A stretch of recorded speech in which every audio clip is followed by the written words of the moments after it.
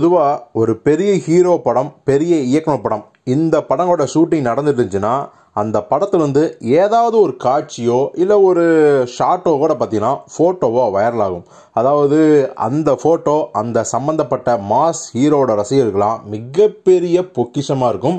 அந்த ஃபோட்டோவை social media முழுக்க பரவி அந்த கதை இதுதான் இந்த கேரக்டர் இதுதான் அப்படின்னு அவங்க இஷ்டத்துக்கு வந்து பயங்கரமாக வந்து அவங்களே கற்பனை பண்ணிக்குவாங்க.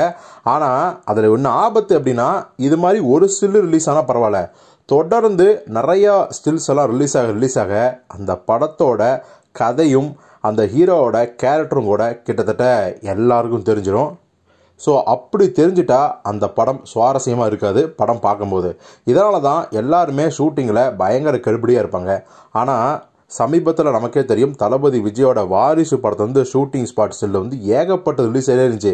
தொடர்ந்து ரெண்டு வாரத்துக்கு ஒருக்கா அந்த சம்மந்தப்பட்ட ஃபோட்டோ ரிலீஸ் ஆகும். இல்லைன்னா வீடியோ கூட ரிலீஸ் ஆகும். இப்போது அந்த வாரிசு படத்துக்கான ஹைப் என்ன தான் கூடியிருந்தாலும் கூட படம் பார்த்தீங்கன்னா ரொம்ப சுமார் அப்படின்னு சொன்னதுக்கு இன்னொரு காரணம் இந்த படத்தோட கதை இதுதான் அப்படிங்கிறது.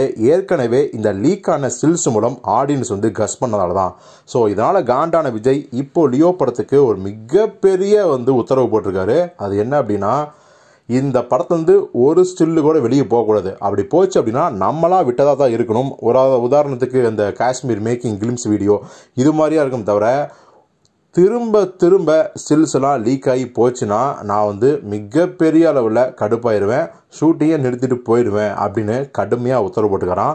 நமக்கே தெரியும் லியோ படத்துலேருந்து இது வரைக்கும் ஒரு ஸ்டில்லு கூட அப்போ லீக் ஆகவே கிடையாது. விட்ட ஒன்று ரெண்டு செல்லும் பார்த்தீங்கன்னா அவங்களே தான் விட்டது தான் அதே மாதிரி அந்த காஷ்மீர் ஷெட்யூல் மேக்கிங் வீடியோ கூட பார்த்தீங்கன்னா அவங்க ரிலீஸ் பண்ணது தான் அதால் வாரிசு படத்தில் நடந்த தப்பு இந்த லியோ படத்தில் நடந்துடக்கூடாது ஸோ லியோ படத்தோட கதை தெரிஞ்சிருச்சுன்னா படத்தோட சஸ்பென்ஸும் காலியாயிரும் அப்படின்னு விஜய் அவர்கள் ரொம்ப தெளிவாக சொல்லிட்டாராம்.